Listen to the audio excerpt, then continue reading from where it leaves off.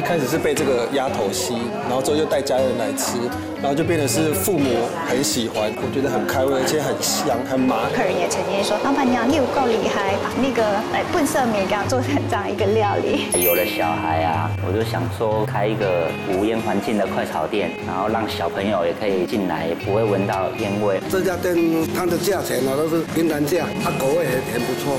每周六日晚间八点，台湾百味。